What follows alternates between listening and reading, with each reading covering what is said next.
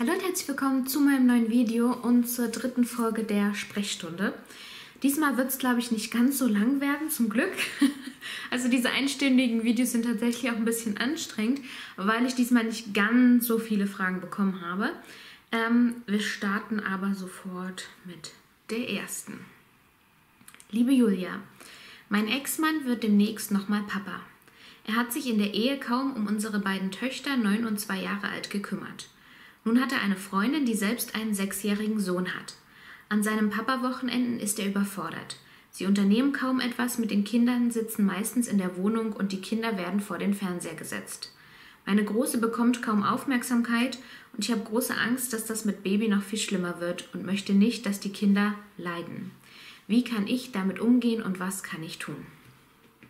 Ähm, also das Problem ist, tun kannst du an sich gar nichts, weil ähm, das Baby ist nun mal unterwegs und er hat ja auch das Recht, die Kinder zu sehen. Und es ist ja keine Kindswohlgefährdung, ähm, die hier eine Rolle spielt. Deswegen, das ist etwas, was du mit dir wiederum ausmachen musst. Das ist auch etwas, was ich lernen durfte. Mm, du weißt, dass es deinen Kindern nicht an den nötigsten Dingen fehlt. Das heißt, ähm, sie bekommen Schlaf, sie bekommen Essen, sie haben ein Dach über dem Kopf an diesen Wochenenden ähm, da kommt wieder so dieses Relativieren. Es sind nur, ich weiß jetzt nicht an Papa-Wochenenden, wie oft das bei euch ist. Also wenn es bei uns ist, wie bei uns zum Beispiel, dann sind es ja nur zwei Wochenende im Monat. Kann man jetzt prozentual ausrechnen, aber ich würde sagen, 75 Prozent der Zeit sind die Kinder ja dennoch bei uns. Und ich mache es dann tatsächlich so, dass ich ähm, dann meine Kinder, wenn sie wieder bei mir sind, mit noch mehr Aufmerksamkeit überschütte. Also mir wirklich den Montag nach dem Papa-Wochenende immer komplett für die Kinder freinehme. Da treffen wir uns meistens auch mit niemandem und unternehmen nicht, sondern sind einfach nur hier und kuscheln und ich höre mir an, was sie zu erzählen haben, weil sie da vermehrt meine Aufmerksamkeit brauchen. Und das ist etwas, was ich dann wiederum tun kann. Gegen das andere kannst du nichts tun, aber du kannst etwas dafür tun, dass du in der Zeit, wo deine Kinder bei dir sind, ihnen noch mehr Aufmerksamkeit schenkst. Und zwar diese hundertprozentige Aufmerksamkeit. Nicht die ganze Zeit, aber was ich letztens bei der Buchvorstellung, kann ich euch hier oben nochmal verlinken, das Buch, was ich euch da vorgestellt habe, da geht es ja auch um Achtsamkeit und darum, achtsam mit unseren Kindern umzugehen. Was bedeutet, ihnen mal wirklich 100% Aufmerksamkeit zu schenken. Für fünf Minuten, für zehn Minuten. Nicht am Handy zu sein, nicht an irgendwas anderes zu denken, nicht an die Einkaufsliste oder irgendwas. Und das spüren unsere Kinder und das ist ganz, ganz wertvoll. Das ist konkret etwas, was du tun kannst. Und dann natürlich damit nicht in irgendwelche negativen Gedankenkarusselle abzudriften, weil es ist etwas, du musst es annehmen, du kannst es nicht ändern. Das ist ein Prozess, aber ich glaube, es, es tut auch ganz gut zu wissen, ich kann es nicht ändern, ich muss es annehmen, so wie es ist. Das ist eine Aufgabe in dir drin, was du tun musst, was du mit dir vereinbaren musst. Ich empfehle ja auch immer die Art des Briefeschreibens oder Tagebuchschreibens, dann schreib darüber, schreib, was du dir vielleicht für Sorgen machst, schreib vielleicht auch deinem Ex-Mann einen Brief, den du dann nie abschickst und erzähl dort von deinen Sorgen. Das hilft auch immer, wenn man das so ein bisschen loslassen kann. Aber im Grunde kannst du nichts dagegen tun. Du kannst nur auf der anderen Seite in der Zeit, wo du die Kinder hast, was ja auch die, der Großteil der Zeit ist, versuchen, das auszugleichen. Und irgendwann ist auch gut zu wissen, werden deine Kinder so alt sein, dass sie das sehr gut reflektieren können. Und dass sie merken, wo bekomme ich Aufmerksamkeit und wo nicht. Wo möchte ich hin und wo möchte ich nicht hin. Und da kommt dann irgendwann der Punkt, wo sie sich ja auch gegen Kontakt zu ihrem Vater entscheiden können, ähm, was wir ja alle nicht hoffen. Ne? Aber das ist dann selbstgemachter Ärger in dem Fall. Das ist das, was ich dir dazu raten würde, raten könnte. Weiter geht's. Ähm, hast du einen Tipp, wie man damit umgeht, wenn ein Familienmitglied sich oft über andere Familienmitglieder beklagt? Nicht hinhören schaffe ich nicht. Habe schon oft gesagt, dass die Betroffenen es unter sich ausmachen sollen. Die Person hat wohl auch schon klipp und klar gesagt, dass sie bestimmte Dinge nicht will. Und auch sonst hast du einen Tipp, wie man mit negativen Menschen im nächsten Umkreis umgehen kann. Kontakt lässt sich nicht vermeiden, ist die engste Familie. Also tatsächlich kenne ich das dass wenn du dich mit Menschen triffst, du förmlich darauf warten kannst, bis sie sich über eine andere Person aus der Familie oder dem Bekanntenkreis aufregen oder über sie sprechen. Das kenne ich tatsächlich. Und ja, man kann das, es wäre so ein Schritt natürlich ansprechen, dass man das nicht mehr möchte. In den meisten Fällen hört es tatsächlich nicht auf. Man kann so ein bisschen weghören, ein bisschen. Also wenn diese Tirade wieder losgeht, kann man sich gedanklich mit irgendwas anderem beschäftigen. Ansonsten musst du dann schauen, dass du dich von diesen, das sind ja auch negative Energien, die da auf dich einprasseln, ein bisschen reinigen kannst. Also A, ja, häng dich auf keinen Fall da rein, ne? Sag dazu einfach nichts. Also der andere wird auch irgendwann aufhören, wenn er merkt, er bekommt nicht mehr deine volle Aufmerksamkeit und du bläst nicht auch noch in das Horn und fragst auch noch ständig nach. Also wenn du da deine Aufmerksamkeit zurückziehst, wenn du in diesen Momenten nicht achtsam mit diesen Menschen bist, wie wir das gerade mit den Kindern hatten, machen wir jetzt das genaue Gegenteil, dann hat er irgendwann keinen Bock mehr, dir davon zu erzählen, weil er ja nicht deine volle Aufmerksamkeit in den Momenten bekommt. Also auch etwas, welche Energie du aussendest. Und wenn es in dem Moment, sollte das keine negative Energie sein, weil dann bläst du in das Horn desjenigen, weil diese negativen Energien sich dann bündeln, sondern dann sitz halt einfach da, lass ihn da erzählen und du denkst dir immer nur, das mache ich zum Beispiel auch in Momenten, wo mich die Kinder manchmal nerven. Ich sitze dann einfach nur da, lass die schreien, toben, erzählen und ich sitze dann so da und denke mir, Ruhe, Gelassenheit, Ruhe, Gelassenheit. Ich denke an nichts anderes. Ich konzentriere mich nur auf mein Ein- und Ausatmen und denke Ruhe und Gelassenheit und ignoriere das, was um mich herum passiert. Ruhe, Gelassenheit, Ruhe, Gelassenheit. Du wirst automatisch ruhiger. Das heißt, deine ganze Ausstrahlung, das, was du ausstrahlst, wird A, eine positive Energie, aber du strahlst auch Ruhe aus. Und das ist etwas, was bei den Kindern zum Beispiel unglaublich schnell funktioniert. Ich brauche da nicht diskutieren und, und Strafen aussprechen. Wenn ich in meine Ruhe komme, wenn ich Ruhe aussende, trifft es auch auf die Kinder und die werden viel, viel schneller ruhig. Also bei Kindern ist das noch was anderes, weil sie ja einfach die ersten sieben Jahre ihres Lebens in unserer Aura quasi mitleben. Deswegen ist ja auch so wichtig, dass wir immer eine positive, ruhige, nicht immer, wenn möglich oft, eine positive, ruhige Art ausstrahlen. Bei Erwachsenen ist das leider nicht ganz so wirkungsvoll, aber es hilft tatsächlich, ähm, auch wenn du es nicht abstellen kannst bei demjenigen, wenn du den Kontakt nicht reduzieren kannst, wenn es nicht hilft zu sagen, ich will das nicht hören, dann arbeite an dir selbst. Dann sei in diesen Momenten völlig bei dir. Wenn es dir hilft, denke an deine Einkaufsliste oder was du demnächst kochen willst oder du gehst halt wirklich in die Atmung und denkst dir Ruhe, Gelassenheit und lässt denjenigen um dich rum erzählen. Ähm, Genau, und dasselbe ist es quasi auch mit Menschen in deinem Umfeld, die allgemeine negative Energie haben, die vielleicht ganz, ganz viel jammern. Auch das kenne ich. Und da ist wirklich so diese Abgrenzung, auch so dieses, ich gehe dahin und weiß, okay, jetzt wird es ein bisschen anstrengend, ich muss ein bisschen auf mich aufpassen, aber das ist ja nur eine begrenzte Zeit.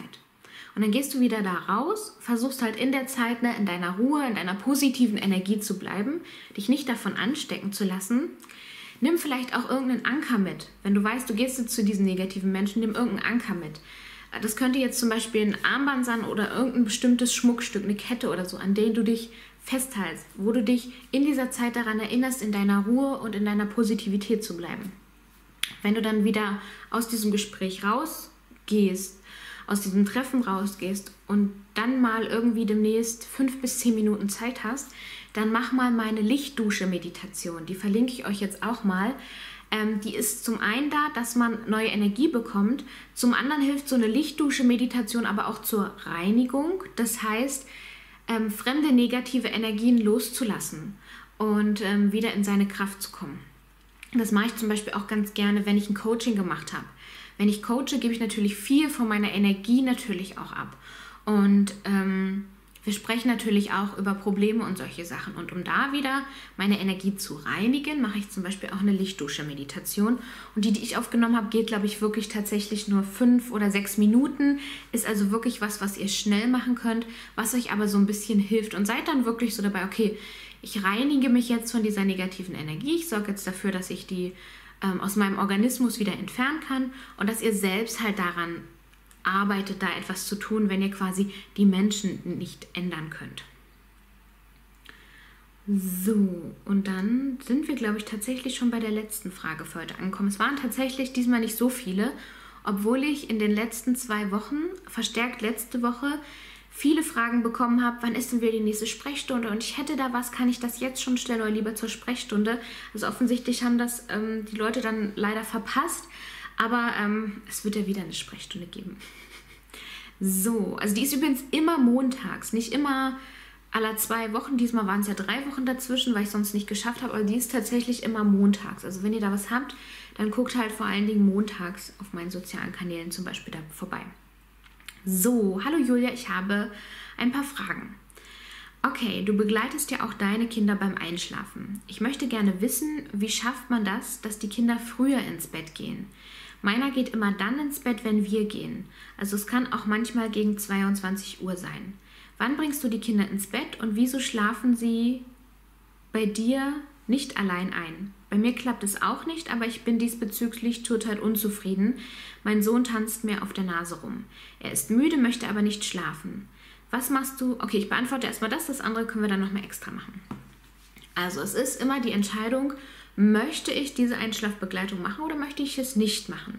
Ich wollte es gerne tun, anfangs tatsächlich auch nicht. Also bei uns war das wirklich jahrelang so, dass es nicht nötig war. Und nach dem Umzug habe ich aber gemerkt, dass diese alten Routinen nicht mehr funktioniert haben und habe mich dann für die Einschlafbegleitung entschieden. Diese Entscheidung habe ich getroffen. Das heißt, ich musste es auch nur mit mir ausmachen, wenn es auch mal schwierige Abende gibt, die es natürlich gibt. Das ist nichts, wofür ich dann irgendwie äh, mich mit den Kindern streiten müsste oder irgendwas. Ich habe mich dafür entschieden und ich muss dann da auch durch. Es ist also deine Entscheidung, ob du dich für die Einschlafbegleitung entscheidest oder nicht. Du musst dann aber immer mit den Konsequenzen leben. Mm, ich habe mich für die Einschlafbegleitung entschieden, weil es sonst wahrscheinlich auch so ausgesehen hätte wie bei dir. Also bei Vince ist das Problem eher weniger, sondern bei Svea, dass sie dann wahrscheinlich auch so lange aufgeblieben wäre wie ich, einfach weil sie zum Abend hin ganz, ganz stark die Mama braucht. Und dann möchte sie bei mir sein, solange es geht. Es ist völlig egal, ob sie müde ist oder ob ich irgendwas Langweiliges mache, was sie eigentlich nicht interessiert. Und deswegen ähm, also bei uns startet es so, also je nachdem, ich ähm, mache das auch ein bisschen davon abhängig, wie anstrengend war der Tag für die Kinder, wann sind wir heimgekommen, ist es unter der Woche oder ist es am Wochenende.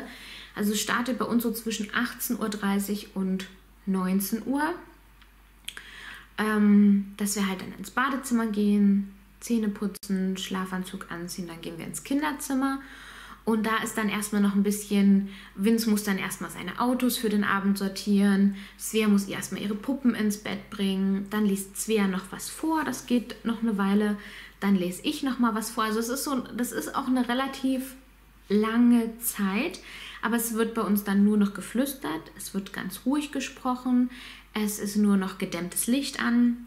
Was ich auch vorher mache, bevor wir überhaupt ins Kinderzimmer gehen, ist, dass ich dort nochmal meine, meinen Diffuser durchlaufen lasse mit Lavendel, das, das noch ein bisschen unterstützend wirkt. Ähm, genau, dann gehen wir ins, äh, genau, so dann ist das die Leserei. und dann wird noch mehr Licht ausgemacht, dann sind nur noch zwei kleine Lichter an und dann hören wir uns irgendeine Geschichte an, eine CD oder irgendwas. Und da entscheide ich auch von der Länge her äh, jeden Tag spontan. Und da ist es für mich auch noch völlig okay, wenn die noch ein bisschen mit Spielsachen rumklimpern, nochmal auf Toilette, nochmal was trinken. Das ist halt einfach so. Und wenn dann aber die Geschichte tatsächlich aus ist, dann kehrt bei uns auch Ruhe ein. Dann wird noch ein Licht mehr ausgemacht und dann geht's los mit. Also da muss ich dann auch ein bisschen schauen. An manchen Abenden ist dann wirklich innerhalb von fünf Minuten Ruhe. An manchen Abenden dauert es dann noch eine halbe Stunde. Da muss man dann halt nochmal vielleicht auf Toilette gehen und vielleicht nochmal was trinken. Ähm, was bei Svea sehr gut funktioniert, ist zum Beispiel, Vince malt ihr dann sehr gerne eine Pizza auf den Rücken. Ich weiß nicht, ich glaube, das kennt ihr aus dem Kindergarten irgendwie. Malt er ihr eine Pizza auf den Rücken. Oder sie lässt sich von mir gerne abends noch die Haare kämmen, weil das natürlich auch beruhigt und dann mit der Bürste manchmal auch noch so ein bisschen ähm, über den Rücken zum Beispiel gehen oder so. Also da bin ich ganz flexibel, aber es ist ganz viel, ich weiß, in dieser Zeit kann ich nichts anderes machen, sondern diese Zeit ist dafür da, um meine Kinder in den Schlaf zu begleiten. Was mir auch hilft, weil es tatsächlich ja schneller geht, als wenn ich sie das alleine versuchen lassen würde. Und ich möchte ja meine Ruhe dann am Abend haben. Und ähm, genau, verschiedene Sachen halt einfach ausprobieren. Es gibt ja verschiedene Entspannungstechniken auch für Kinder, wie zum Beispiel auch die Entspannungsgeschichten, ähm, die ich geschrieben habe, das dann zum Beispiel auch vorzulesen. Ähm, wenn die Kinder ein bisschen älter sind, dann auch mit äh, Meditation für Kinder anfangen. Also so Einschlafmeditation, das habe ich bei Vince auch, mache ich bei Vince auch sehr, sehr gerne zum Beispiel. Also da gibt es wirklich verschiedene Möglichkeiten und das ist auch manchmal jeden Tag anders, was es da gerade braucht. Da probiere ich halt manchmal auch ein bisschen durch, bis ich die eine Sache gefunden habe, die dann da tatsächlich hilft. Ähm, genau, und wie gesagt, ich hatte gesagt, wir fangen so zwischen halb und um sieben an und zwischen acht und halb neun ist dann meistens Ruhe. Ähm, es gibt auch Ausnahmefällen, wenn irgendwie mal was war oder so, dass es bis um neun dauert. Aber dann ist es so, aber das ist dann wirklich tatsächlich auch äh, das Späteste und das kommt in letzter Zeit wirklich ähm, nur noch sehr, sehr selten vor. So, ich hoffe, ich konnte damit deine Frage so ein bisschen beantworten. Und dann war noch die Frage, was machst du nach der Kita mit den Kindern, bis sie einschlafen? Wenn meiner nicht beschäftigt wird, will er nur fernschauen. Also bei uns ist die Zeit, ähm, also Kindergarten ist ja meistens bei uns so zwischen 15 und 15.30 Uhr Schluss. Und in der Zeit fahren wir die Oma besuchen, treffen uns mit Freunden, die auch Kinder haben ähm, ist Fußball. Ähm, gehen wir auch raus, je nachdem wie das Wetter ist. Äh, Spielplatz, Laufradfahren, in Park Blätter sammeln. Oder wir sind halt einfach hier zu Hause. Und dann habe ich meistens aber auch einen konkreten Plan, wenn wir hier zu Hause sind. Dann wird entweder geknetet oder mit Kinetic Sand gespielt. Es wird irgendwas gebastelt. Also dann lege ich denen die kompletten Bastelsachen heraus. Und dann können die anfangen, oder wir haben irgendwie einen anders, anderen Plan. Wir machen was mit Bügelperlen oder wir wollen irgendwas Bestimmtes bauen oder wir haben uns vorgenommen, eine Bude zu bauen. Richtig dann mit, mit Knicklichtern, die sie dann mitnehmen können ähm, in die dunkle Bude und so. Also da habe ich dann Theorie, also wirklich auch immer einen Plan. Ich habe immer einen Plan, was ich nachmittags mit den Kindern mache. Also entweder sind wir, wie gesagt, unterwegs und treffen uns mit jemandem oder wenn wir zu Hause sind, habe ich eigentlich auch einen Plan, was, was ich machen möchte. Und wenn ich das einmal angeleitet habe, hier zu Hause zum Beispiel, dann machen die das auch alleine. Also dann basteln die alleine, malen alleine, spielen alleine dann in ihrer Höhle, wenn ich das einmal angeleitet habe. Und da kommen wir wieder an den, zu dem Tipp, den ich auch ganz am Anfang gegeben habe. Wenn man die, den Kindern in der ersten Zeit dann wirklich wieder 100% Aufmerksamkeit schenkt, also diese Achtsamkeit, wirklich komplett mal bei den Kindern zu sein, zehn Minuten, das spüren die und das ist für die so viel wert. Und wenn man die da anleitet, zum Spielen heranführt, dann spielen die meistens, so aus meiner Erfahrung, dann eigentlich sehr gut alleine weiter. Ich bin dann irgendwo in der Nähe natürlich ansprechbar und wenn ich wirklich in der Zeit irgendwas machen muss, kommuniziere ich das auch. Also ich sage, ich gehe jetzt in die Küche und mache den Abwasch ich gehe jetzt da und dahin und kümmere mich um die Wäsche oder ich muss noch mal an, kurz an den PC, ich muss noch was arbeiten, dann kommuniziere ich das tatsächlich auch richtig. Und ähm, ja, das mache ich so mit den Kindern. Ich hoffe, das hat dir weitergeholfen. Das waren ähm, auch, glaube ich, schon die Fragen. Ich weiß nicht, also ich weiß, ähm, ich habe gestern was bei Instagram noch bekommen, aber ich glaube, das war nichts ähm, für die Sprechstunde. Nee, genau. Genau, ähm, das war es tatsächlich diesmal. Ähm, ich hoffe, es hat euch wieder gefallen. Es hat eure Fragen beantwortet. Und wir sehen uns dann zur nächsten Sprechstunde wieder. Bis dahin. Tschüss.